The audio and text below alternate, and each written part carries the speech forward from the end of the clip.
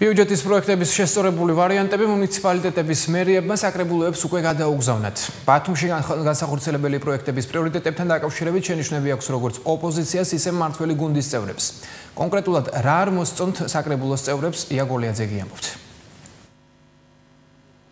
სოციალურად დაუცველი ოჯახების დახმარება პრემია დანამატების შემცირების ხარჯზე პარკირებასთან ასევე საცობებთან დაკავშირებული პრობლემების მოგვარება და ბიუჯეტში სკვერების მოწყობისთვის თანხების გათვალისწინება. ეს იმ საკითხების მცირე ჩამონათვალია, რომლებიც ნაციონალური მოძრაობის წევრის თქმით 2018 წლის ქალაქის მთავარი ფინანსური დოკუმენტის პროექტში არ აისახა. აღნიშნული შენიშვნები პარტიის წევრებმა მერიას რამდენიმე დღის წინ გადაუგზავნეს. ლევან ანთაძის თქმით ბიუჯეტის პროექტს მხარს ერთადერთ შემთხვევაში დაუჭერენ. თუ ბიუროკრატიულ ხარჯებს შეამცირებენ.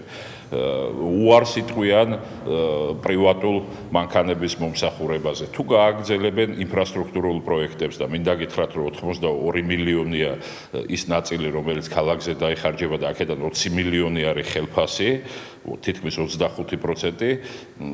თუ ამას იზამე, რა თქმა უნდა, ჩვენ დაუჭერთ ხარს. ბიუჯეტის პროექტთან დაკავშირებით შენიშვნები აქვს ფრაქცია ქართულ ოცნებასაც. მართველი გუნდი დოკუმენტში ისეთი საკითხების ასახვას ითხოვს, როგორებიცაა ეგრეთ წოდებული ჭაობის დასახლებაში გარე განათებების ქალაქში კი შუქნიშნების მონტაჟი. გარეუბნებიდან ცენტრის მიმართულებით სამარშრუტო ხაზების დამატება, ბარაკის ტიპის სახლების საკითხების შესწავლა და ავარიული შენობების დემონტაჟისა და რეაბილიტაციის მიზნით IP ბათუმის კორპუსის დაფინანსება.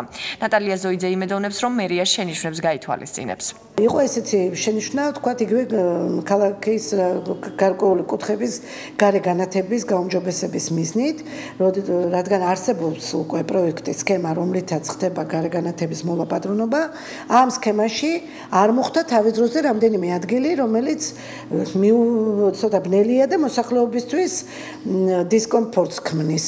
სწორედ ამ ადგილების უკეთ განათების მიზნით მიმართეთ რეკომენდაციით შესწავლილი იქნას ასეთი ადგილები ბათუმში გათვალისწინებული იქნას მათი დაპროექტება ახალი წერტების შექმნა და უკვე მეરે მოლაპატრონობა მოლოდინი იმისა რომ იქნება გათვალისწინებული რა თქმა უნდა მაღალი მაქვს. მერის საფინანსო სამსახურის უფროსის განცხადებით ფრაქციების მიერ დაფიქსირებული შენიშვნების ნაწილი გათვალისწინებულია მათ შორის კაპიტალური და ინფრასტრუქტურული პროექტების დაფინანსება. ქალაქის მერის განმარტებით კი ყველა იმ შენიშვნაზე რომლებიც ქალაქის მთავარ ფინანსურ დოკუმენტში არ აისახა განმარტებები უკვე გაკეთდა შენიშვნები იქნა რა თქმა უნდა მთელი სერიოზულობით განხილული.